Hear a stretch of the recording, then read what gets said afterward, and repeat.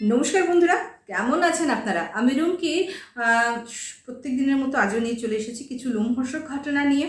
So আমি যেটা সবসময় বলে থাকি, আমরা মানে কথায় গল্প ভূতুরে একটা স্টেশন কোনোদিনও কোনো রকম অন্ধবিশ্বাস, কুসংস্কারকে প্রশ্রয় দেই না। ঘটনাগুলিকে যদি আপনাদের বিশ্বাসযোগ্য বলে মনে না হয়, সেই ক্ষেত্রে আপনারা এটাকে গল্প আকারে নিয়ে নেওয়াটাই হবে বুদ্ধিমানের কাজ। কারণ আমাদের মেইন উদ্দেশ্যটা কিন্তু ছোটোবেলায় যে আমরা গল্প শুনতাম, সেই অনুভূতিটা বড় হয়ে তো হারিয়ে ফেলেছি না। সেই অনুভূতিটাকে ফিরিয়ে দেওয়ার একমাত্র প্রচেষ্টাই হলো কথায় গল্প ভূতের আড্ডা স্টেশনের আর তো আজকে সময় নষ্ট না করে সঙ্গে সঙ্গে চলে যাব ঘটনায়।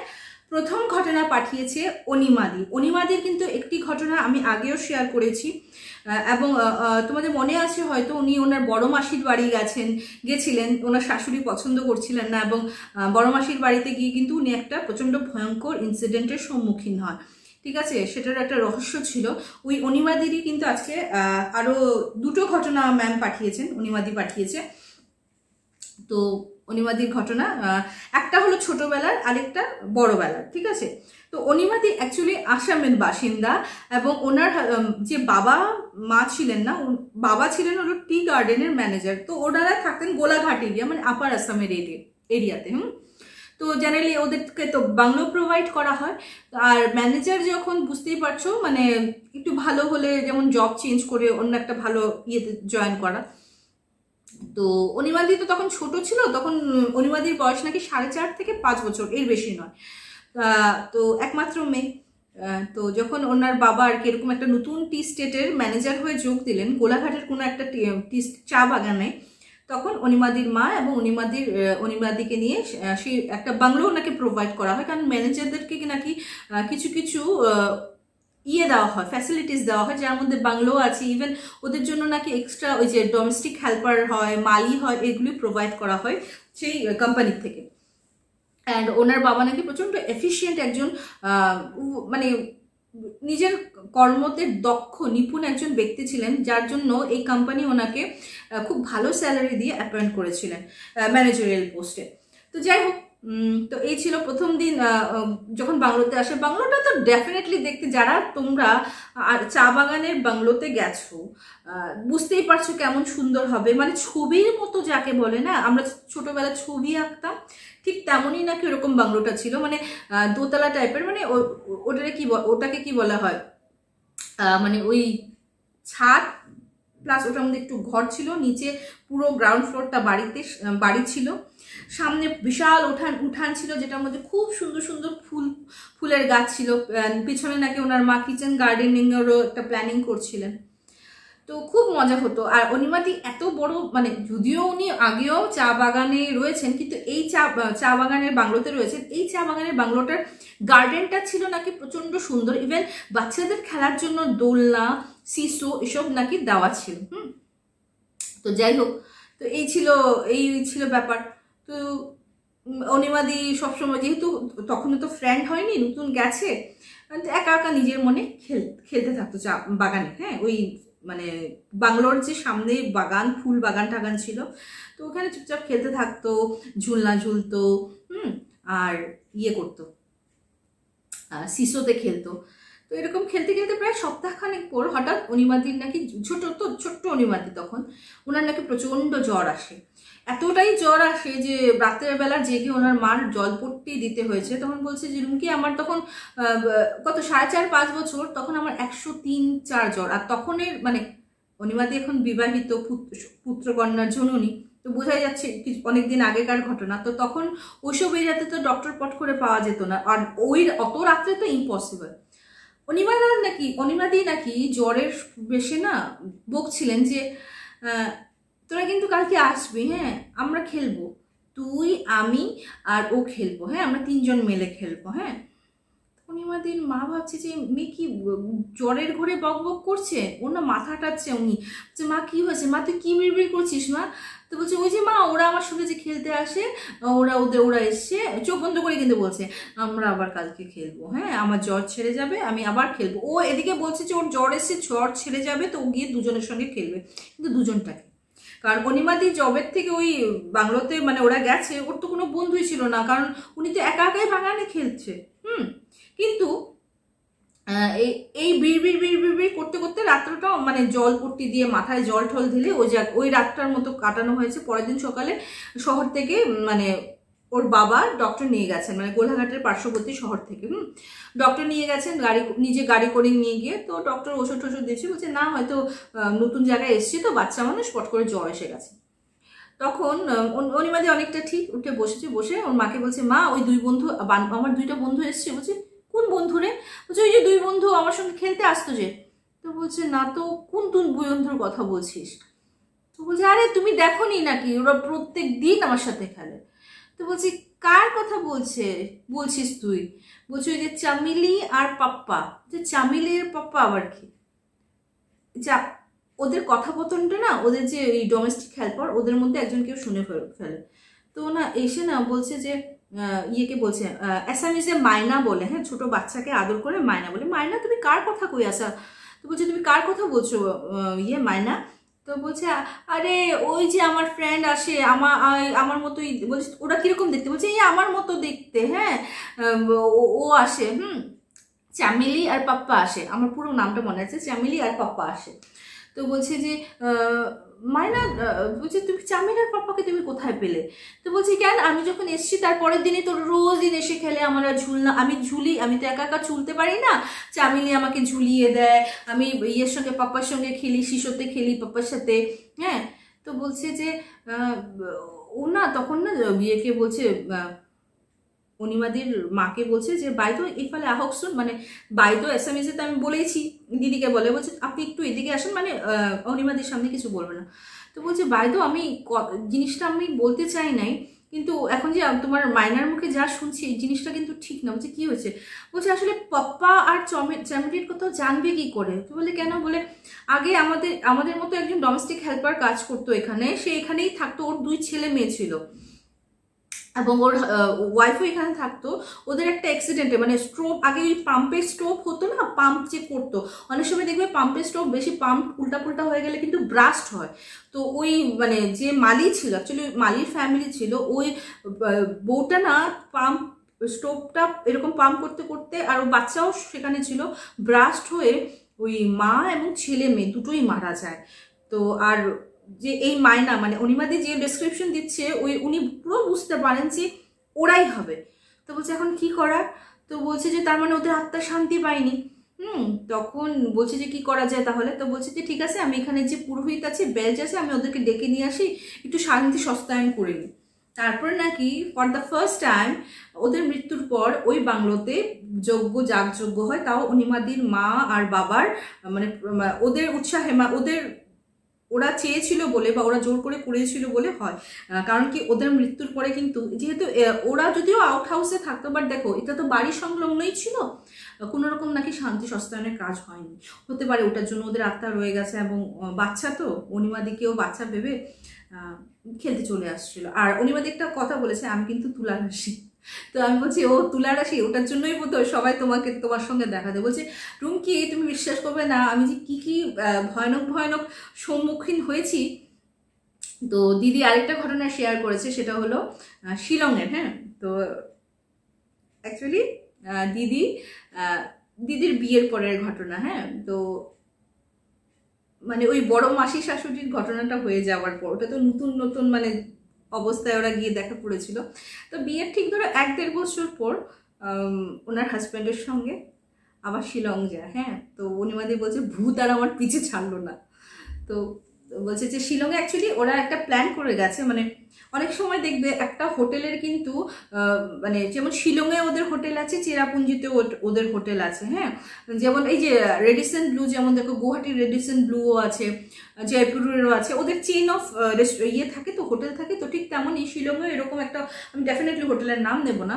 তো ওদের না চেরাপুঞ্জিতেও ছিল এবং শিলংয়ে ছিল এবং সেটা নাকি অনিমাদির হাজব্যান্ডের মানে চেনাশোনা ছিল, তো ওরা বুক করে গেছে এবং যেহেতু ওরা পুরো শিলংটা ঘুরবে, ওই সামনে যে আরও অনেক অনেক রকমের যে শিলংয়ে দেখো, আশেপাশে তো অনেক ইয়ে আছে না, যেমন ডাউকি বর্ডার টর্ডার আছে, তো ওরা ওরকম প্ল্যানিং করেই গেছে, আমরা শিলংয়ের আশে পার্শ্ববর্তী এলাকাও দেখব এবং চেরাপুঞ্জিটাও যাব। তো বলছে আগে শিলংটা দেখবে, তো শিলংয়ে হোটেলে উঠেছে। ওঠার পর ওই দিন উনি ওনার হাজব্যান্ড ঘুমিয়েছে আর বাথরুমের দরজাটা মানে বাথরুমটা ঠিকই ছিল, সংলগ্নই ছিল এবং বাথরুমের যে কাচের জানলা ছিল হ্যাঁ কাচের জানলা ছিল।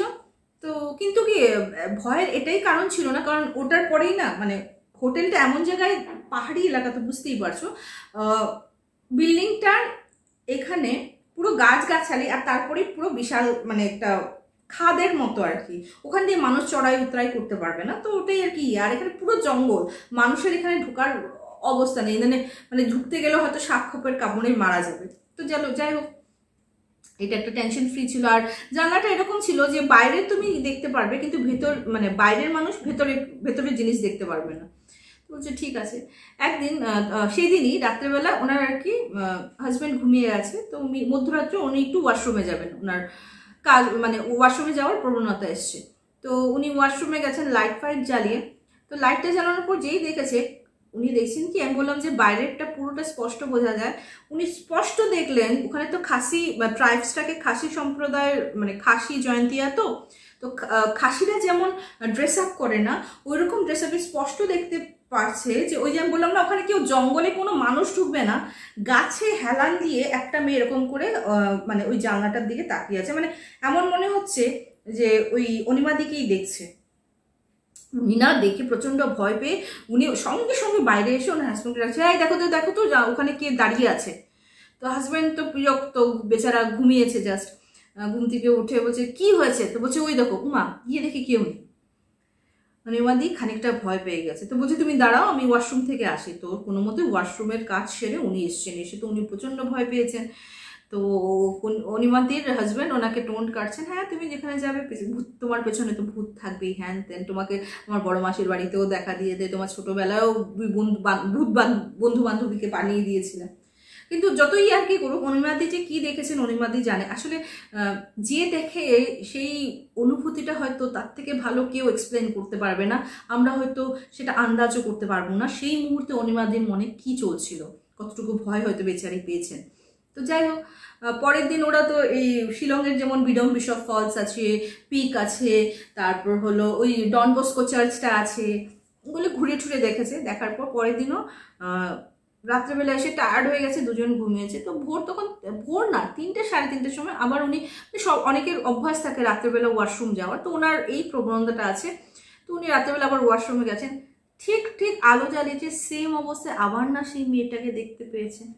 এবার কিন্তু ইয়ের মধ্যে না, জানলার মধ্যে এরকম করে এরকম করে মানে জানলার কাজটা তো, হাত দুটো এরকম করে, মুখটা এরকম করে এরকম করে, যেমন দেখছে হ্যাঁ ভেতরে কি আছে, এরকম করে দেখছে। অনিমাদি আবার ভয় পেয়ে ধুম চিৎকার করে আবার চলে গেল। তো এবার ওর হাজব্যান্ড কিন্তু ইয়ার্কিতে নেয়নি, কারণ অনিমাদি নিশ্চয়ই দুই দিন পর পর ইয়ে দেখবে না। তো বলছে, তোমার ভয় লাগছে? আমি কি হোটেলটা চেঞ্জ করে নেব? তো বলছে, হোটেল চেঞ্জ কি করবে? কালকেই তো আমরা ছেঁড়াপুঞ্জি চলে যাচ্ছি। হ্যাঁ কিন্তু এখানে কিছু একটা মেসি আছে। তো সকালবেলা যখন ওরা চেক আউট করে চেক আউট করে ইয়েতে চলে যাবে, চেরাপুঞ্জির সেই ইয়েতে চলে যাবে, তো ম্যানেজারকে জিজ্ঞেস করেছে, আপনি আমাকে কোন রুম দিয়েছেন? বলছি, কেন ম্যাডাম কি হয়েছে? বলছে, আপনি যে আমাকে রুমটা দিয়েছেন, ওটা হন্টেড হ্যাঁ আপনি কেন ওই রুম দিয়েছেন? বলছে, না না ম্যাডাম ওটা আপনার চোখের ভুল মানে দেখো, কেউ তো কোনোদিনও মানতেই চাইবে না না, সেটা হন্টেড সেটা ওদের বিজনেসে হ্যাম্পার হবে। তো বলছে, না না আপনি ভুল ভাবছেন, কিছু হবে না ওরকম কোনো কিছু নেই। ওনারা room number seventeen one seven সেভেন্টিনে আমার মানে অনিবাদী যেভাবে বলেছে ওয়ান সেভেন সেভেন্টিনে কিন্তু উঠেছিল। তো ম্যানেজার তো কিছুতেই ইয়ে করে না। তো যাই হোক তারপর ওই চেরাপুঞ্জিতে গেছে। চেরাপুঞ্জিতে তো ভালো ঘুরেছে। তো চেরাপুঞ্জির ম্যানেজারের সঙ্গে এই অনিমাদির হাজব্যান্ডের কাজেনের খুব ক্লোজ ফ্রেন্ড তো অনিমাদি ওই সুবাদে ম্যানেজারকে জিজ্ঞেস করছে আচ্ছা আপনাদের যে হোটেল আছে শিলংয়ে, ওই হোটেল কি হন্টেড নাকি? তো বলছে, ও বৌদি ডাকছে, কারণ যেহেতু খুব, বললাম না, খুব ভালো পরিচিত, চেনা পরিচয় বেরিয়ে গেছে ম্যানেজারের সাথে। তো বলছে, কেন বৌদি, কি হয়েছে? তো ম্যানেজারকে সব কথা বলেছে, জানো এরকম এরকম হয়েছে আমি দুবার দুবার এরকম দেখেছি। বলছি, আপনারা কোন রুম নাম্বারে থেকে থেকেছিলেন বলছে, আমরা তো রুম নাম্বার সেভেন্টিনে থেকেছেন। বলছে কি হোটেল কি পুরো ফুল ছিল? বলছে হ্যাঁ অ্যাকচুয়ালি তো এখন সিজন টাইম আর রুম নাম্বার সেভেন্টিনই খালি ছিল, তো পট করে একটা রুমই খালি ছিল বলে আমার হাজব্যান্ড বুক করে নিয়েছে। তো বলছে, বৌদি, একটু বিশ্বাস করে কথা বলি, আপনি প্লিজ কাউকে বলবেন না, কারণ বললে হয়তো ম্যানেজারের চাকরি চলে যাবে বা আমার চাকরিও চলে যেতে পারে। কারণ হাজার হোক আমাদের তো সেমই মানে মালিক তো সেমই যদি সেটা শিলংয়ের হোক বা চেরাপুঞ্জুরির হোক। তো উনি অনিমাদি বলছে প্রমিস করছি ভাই, তোমাদের চাকরি চুকরি আমি কিচ্ছু টানাটানি হতে দেবো না। কিন্তু কি হয়েছে, আমার এটা কিউরিসিটি হ্যাঁ তো বলছে, আসলে শিলংয়ের যে ম্যানেজার ছিল, ওর একটা অবিবাহিত বোন ছিল। হুম ম্যানেজারটা কিন্তু খাসি ছিল। তো অবিবাহিত বোন ছিল বোনটা নাকি কিছু একটা হয়তো ওকে কেউ বিশ্বাসঘাতকতা করেছিল ওর সাথে, কোনো প্রেমিক। ওটা নিতে পারেনি। সবাই তো সব কিছু নিতে পারে না এবং সেই ডিপ্রেশনে এসে কিন্তু রুম নাম্বার সেভেন্টিনে সে আত্মহত্যা করে। এবং তারপরে নাকি এই রুমটাকে বলেছিল কাউকে দিতে না, কারণ যারা থেকেছে তারা নাকি এরকম হন্টেড অ্যাক্টিভিটি মাঝে মধ্যে সবাই না, কিছু কিছু মানুষ উপলব্ধি করেছে। হয়তো যারা তুলা রাশি বা হালকা রাশি, যেমন অনিমাদি বলেই দিয়েছে রুমকে আমি কিন্তু তুলা রাশি। তো হতে পারে তুলা রাশি বলে হয়তো জিনিসগুলি বেশি ভালো করে উপলব্ধি করতে পেরেছেন। তো এই ছিল অনিমাদের ঘটনা। থ্যাংক ইউ সো মাচ অনিমাদি। এরকম ঘটনা আমাদের সঙ্গে শেয়ার করতে, করেছেন বলে। আমি হাসি এর জন্য, কারণ আমি জানি ভূত, আপনি বলেছেন না, আপনার পিছু পিছু ছাড়ে না। আপনার কাছে আরও ঘটনা আছে। ডেফিনেটলি রিকোয়েস্ট করব, ওই সেই ঘটনাগুলিও আপনি আমাদের সঙ্গে শেয়ার করুন। হয়তো মানে কি বলব আর? কিন্তু আমি ঈশ্বরের কাছে প্রার্থনা করছি, দেখা দিক কিন্তু আপনার যেন কোনো হ্যাম্পার না করুক, কোনো হার্ম যাতে ওদের দ্বারা আপনি না হন, এটাই আমি ঈশ্বরের কাছে প্রার্থনা করছি। তো থ্যাংক ইউ সো মাচ আপনাকে, অসংখ্য ধন্যবাদ। আচ্ছা আর নেক্সট যে ঘটনা পাঠিয়েছে সে হলো দীপশিখা, যে আমাকে আরেকটা ব্যাঙ্গালোরের ঘটনা, মাইসোরের ইনফ্যাক্ট ঘটনা পাঠিয়েছিল ওর বন্ধুর। তো আমি বলেছিলাম শেয়ার করার পর একটা হাইওয়ের ঘটনা এসছে। আজকে সেই হাইওয়ের ঘটনাই শেয়ার করব, যেটা ঘটেছিল দীপশিকার ফ্রেন্ডের দাদা। হুম? যে আইটি সেক্টরে কাজ করে, ব্যাঙ্গালোরেই থাকে ওর দাদার সাথে। তো ওর ফ্রেন্ডটা বলে যে, আমার দাদার ঘটনাটাও শেয়ার কর। তো ওই দীপশিকা আজকে শেয়ার করেছে ওর ফ্রেন্ডের দাদার ঘটনা। কিন্তু ঘটনা শেয়ার করার আগে আপনাদের কি করতে হবে? যদি এই চ্যানেলে প্রথম দেখছেন যদি আমার আমার চ্যানেলে প্রথম এসেছেন তো সাবস্ক্রাইব করে নিন বেল আইকনটা প্রেস করে দিন, যাতে আমি যখনই কোনো এপিসোড ডালবো, আপনারা পট করে নোটিফিকেশন পেয়ে যান এবং এক হাজার এক গল্পকে সাবস্ক্রাইব করে নিন তাড়াতাড়ি। তাহলে তো তাড়াতাড়ি ভিডিও ডালবো, সেই মিউজিক দিয়ে সুন্দর সুন্দর ভূতের গল্প আসবে। আর কথায় বলব ভূতের আড্ডা স্টেশন কিন্তু সেই ঠাকুমা দিদির দিদিমাদের মুখে যেমন শুনতাম, সেই নস্টালজিক ফিলিং সেই ফিলিংটাই আমি রেখে দিলাম। তো আপনাদের কেমন লাগছে কমেন্ট সেকশনে কমেন্ট করুন। আচ্ছা দীপশিকা যেটা পাঠিয়েছে সেটা হলো ওর বন্ধুর দাদা। আচ্ছা বন্ধুর দাদা আইটি সেক্টরে কাজ করে এবং উইকেন্ডে যেন ব্যাঙ্গালোরে স্যাটারডে সানডে যারা আইটি সেক্টরে কাজ করে, বেশ লম্বা ছুটি পায়। অ্যান্ড কিছু একটা কারণে শুক্রবারও বন্ধ ছিল মানে শুক্র, শনি, রোববার ওরা তিন দিন বন্ধ পায়। তো ওরা প্ল্যান করেছে যে ওরা উটি যাবে বাইকার আচ্ছা ব্যাঙ্গালোর থেকে মাইসোর যেতে তিন থেকে সাড়ে তিন ঘণ্টা এবং মাইসোর থেকে উটি যেতে তোর ওই সাড়ে তিন চার ঘণ্টা পরে। আমি মাইসোর থেকে নিজে উঠে গেছিলাম বাসে, আমাদের ওই সাড়ে তিন চার ঘণ্টা পরে। এবং সেই রাস্তাতে জানো তো, বান্দিপুরা ন্যাশনাল ফরেস্টে, ফরেস্ট ওয়াইল্ড লাইফ স্যাঞ্চুরি সেটা পড়ে। বান্দিপুরা ওয়াইল্ড লাইফ স্যাঞ্চুরিটা পড়ে, হুম। তারপরে ওটা কর্ণাটকের বর্ডার ক্রস করার পর, তারপরে কিন্তু শুরু হয়েছে তামিলনাড়ুর বর্ডার ওখানেও একটা ওয়াইল্ড লাইফ স্যাঞ্চুরি আছে। তো ওই রাস্তা দিয়েই যেতে হয়। তো ওরা প্ল্যান করে যে থার্সডে কাজ টাজ করার পর ওরা থার্সডে বেরিয়ে যাবে হাফ বেলা ছুটি নিয়ে। তোর ওই বারোটা একটার দিকে বেরিয়ে গেলে ধরো মাইসোর পৌঁছতে পড়তে চারটা চারটা, আবার মাইসোর থেকে যদি ওরা রওনা দেয়, ধরো আটটা, সাড়ে আটটা নাগাদ পৌঁছে যাবে। ব্যাঙ্গালোর কর্ণাটকে কিন্তু সন্ধ্যায় হয় আটটা, সাড়ে আটটায়। ঠিক আছে? তো আটটা, সাড়ে আটটা মানে সন্ধ্যায় সন্ধ্যায় পৌঁছে যাবে ওরা। তো যেমন ভাবা তেমন কাজ, কিন্তু সব কিছু ভাবলেই তো আর কাজে পরিণত করা যায় না। ইন দ্যাট টাইম ওদের একটা মিটিং চলে আসলো। মিটিংটা শেষ হতে হতে প্রায় আড়াইটা, তিনটা, তার মানে ওরা মাইসোরের জন্য রওনা যখন দিল সাড়ে তিনটা। মাইসোর পৌঁছেছে সাড়ে ছটা, সাতটা নাগাদ, ঠিক আছে? যেহেতু Bandipura national wildlife sanctuary তো রাস্তার উপর দিয়ে অনেক সময় অনেক হরিণ ঠরিণ দেখা যায়। তো বলছি যে, ঠিক আছে, একটা কাজ করি নাইট সুপারগুলো যে যায় ওরকম করে বেরিয়ে যায়। এখন যদি আমরা সাড়ে ছটা, তো তো সাড়ে নটার মধ্যে আমরা উটি উটিতে একবার ঢুকে পড়তে পারলেই হয়েছে। তারপর তো আস্তে ধীরে হোটেল যাব। তো যাই হোক, ওরা হাইওয়েতে চলছে। তখন বান্দিপুরা ন্যাশনাল পার্কটা ওরা মানে মাইসোর ক্রস করে গেছে। বান্দিপুরা ন্যাশনাল পার্কটা ওরা মানে ক্রস করে তামিলনাড়ুর বর্ডারে ঢুকে ওইখানের ওয়াইল্ড লাইফ সেঞ্চুরিটা শুরু হয়নি। মানে জঙ্গল এরিয়া সেই সময় দেখতে পাচ্ছে আচ্ছা ওরা চার বন্ধু চার বন্ধু মিলে গেছিল, তো একজন ড্রাইভ করছিল, ওরা বাড়ি বাড়ি করে ড্রাইভ ড্রাইভিং সিটটা মানে সিট চেঞ্জ করে করে ড্রাইভার মানে চেঞ্জ করছিল আর কি যেহেতু এক নাগারে তো গাড়ি চালানো পসিবল না। তো যখন মানে ইয়ে করে মানে এক, আরেকটা বন্ধু ড্রাইভিং সিটে এসছে এবং ড্রাইভ করছিল, হঠাৎ দেখে একটা মানে সুনসান এরিয়াতে একটা মানে মহিলা ওই যে মানে সাউথ ইন্ডিয়ান মহিলায় ফুল মাথার মধ্যে ওই গজরা গজরা লাগানো অ্যান্ড ওই মঙ্গলসূত্র, ওরা যে ওই গোল গোল দুটো মঙ্গলসূত্র পরে না, ওরকম টাইপের ওরকম মঙ্গলসূত্র পরে সাউথ ইন্ডিয়ান একটা শাড়ি পরে একটা বাচ্চা কোলে নিয়ে এরকম করে দাঁড়িয়েছে আর এরকম করে দাঁড়াতে বলছে। তো পেছন থেকে বলছে, এই, দাঁড়াস না। হুম, দাঁড়াস না। ইয়ে কি বলে? এটা কিন্তু মানে এই সুনসান এলাকাতে এরকম ভদ্রমহিলা কোথায় পাবি? নিশ্চয়ই এটা কিন্তু আমার মনে হচ্ছে না এটা ঠিক। তো যে ড্রাইভিং সিটে বলছে, আরে অনেক সময় অনেক হতেই তো পারে যে কোনো হয়তো বিপদ আপদে পড়ে। বলছে, বিপদ আপদে পড়ে ওর হাজব্যান্ড দেখেছিস? না, গাড়ি খারাপ হয়েছে একটা গাড়ি নেই হাজব্যান্ড নেই, একা একা মহিলা কি করে আসবে এখানে এত সুনসান রাস্তায়? এবং এই রাস্তাটার বিষয়ে আমি কিন্তু অনেক কিছু শুনেছি, দাঁড়া করাস না। তো সবাই প্রেশারাইজ যখন দিল, তো দেখো, এখন একার মতে তো চলে না, তো ও মেয়ে লোকটাকে পাশ কাটিয়ে গাড়িটা যেই মানে পেছন মানে ওকে ক্রস করে গেছে ইন দ্যাট টাইম ধরো দশ পনেরো পা যাওয়ার পরে গাড়িটা আপনি আপ স্টপ হয়ে গেছে। স্টপ হওয়ার সঙ্গে সঙ্গে ড্রাইভিং সিটে যে বসছে, বলছে, আমি বলেছিলাম না, মেয়ে লোকটাকে লিফট দিয়ে দিই। দেখ, ভগবানও সহ্য করতে পারল না। হ্যাঁ ভগবানও আমাদের এই কর্মের জন্য এই ফলটা দিল।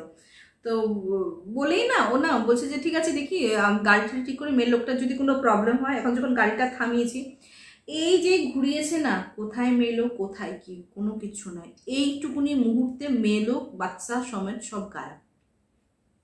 ওরা তো ভয় পেয়ে গেছে। তারপর এখন গাড়ির কীভাবে কি হয়েছে, তো মোবাইলের টর্চ দিয়ে ডিক্কি খুলে ওরা দেখল যে না সব কিছু তো ঠিক আছে। তো বলছে যে একটুক্ষণ গাড়িটাকে ঠান্ডা করে নিই রেস্ট করে নিই, তারপর না হয় ইঞ্জিনটা যখন হয়তো ইঞ্জিন গরম হয়ে গেছে বেশি। তো পাঁচ দশ মিনিট রেস্ট করল করার পর চেষ্টা করছে যদি স্টার্ট হয়ে যায় স্টার্ট হয়ে গেছে। স্টার্ট হওয়ার পর গাড়ি স্টার্ট হয়েছে, কিন্তু গাড়ি জায়গার থেকে হিলছে না। মনে হচ্ছে পেছন দিকে কেউ চাকাটাকে মানে এরকম করে জোরে ধরে রেখেছে। ওটা কিন্তু ফোর হুইলার ওই ধরো আমি বলছি, ওটা হলো হন্ডা সিটি সামথিং ওরকম গাড়ি। মানে বুঝতে পারছ তো হন্ডা সিটি কত বড় হবে? ব্যাঙ্গালোরের সব গাড়ি মোটামুটি বড়ই থাকে। হ্যাঁ আর চার বন্ধু মিলে যাচ্ছে যখন ভালো গাড়ি নিয়ে গেছে, এরকম করে নিয়ে গেছে। মানে চাকা ঘুরছে, বালি উঠছে চাকাটা কিন্তু আগ বাড়ছে না। মানে চাকা ঘুরছে, গাড়ি তো চলছে, পেছনে চাকা দুটো এরকম করে ঘুরছে, কিন্তু চাকাটা ঘুরছে ঠিকই, কিন্তু আগ বাড়ছে না। এটা দেখে তো প্রচণ্ড ভয় পেয়ে গেছে ওরা। ওরা কি করবে কি করবে? তখন ওরা বলছে যে, আমরা বাইরে থাকব তুই ভিতরে ঢোক ভিতরে ঢোক, ভিতরে তো আমরা জানি, হিন্দু আমরা যারাই মানে ম্যাক্সিমাম যারা আমরা, আমার গাড়িতে যেমন ভোলেনাথজি অ্যান্ড গণেশের একটা ছবি মানে মূর্তি আছে, তো আমরা সবাই গাড়িতে কোনো কোনো না ভগবানের আইডল রাখি। তো ওদের ইয়েতেও না বালাজির একটা ইয়ে ছিল, বালাজির একটা ছোট্ট মূর্তি ছিল। তো ওরা প্রে করছে অ্যান্ড নরসিংহা কবচ মন্ত্র। যেমন আমরা হনুমান চালিসা পড়ি না এই জিনিসটা আমি এখন জানতে পারলাম। এবং তারপরে কিন্তু আমি রিসার্চ করেছি, মায়াপুর স্কনের আমি দেখেছি ওদের নারসিংহার কবচ মন্ত্রটা। আমি শুনেছিও, সত্যিই মানে ওই ওই মন্ত্রটা শুনলেও নাকি ভূত প্যারট নাকি দূরে থাকে। তো নরসিমা মহারাজজি, জয় নরসিমা। নরসিমা মহারাজি স্তোত্র পাঠ করা শুরু করে এবং ওটা এফ এম এ চালিয়ে দেয়। মানে ড্রাইভিং সিটে যে ছিল, উনি নাকি স্কনের ইয়ে ছিল মানে দীক্ষিত ছিল। আমি কিন্তু এখানে কোনো কিছু প্রমোট করছি না। ঘটনা যেভাবে আসছে, আমি জাস্ট ওরকম করে আপনাদেরকে বলছি। হ্যাঁ আমি কিন্তু এখানে কোনো কিছুই প্রমোট করছি না। তো নরসিংহার কবচ স্তোত্রম, ওটা পড়া শুরু করেছে। এবং আস্তে আস্তে নাকি গাড়িটা তখন মুভ করা শুরু করেছে আর ইন দ্যাট টাইম ওরা ফুল স্পিডে গাড়ি ভাগিয়ে উটির দিকে রওনা দিয়ে দিয়েছে। তো পরে যেটা জানা গেছে যে ওই জায়গাটায় নাকি অতৃপ্ত আত্মরা খুব মানে অ্যাক্টিভলি থাকে এবং এরকম নাকি প্রায় সময়, প্রায়শই অনেক গাড়ি থেকে লিফট যায় বা অনেক মানে যারা যায় প্যাসেঞ্জারকে নাকি প্রচণ্ড প্রবলেম দিয়ে থাকে। তো এই ছিল একটা ঘটনা। কেমন লাগল? জানাতে ভুলো না।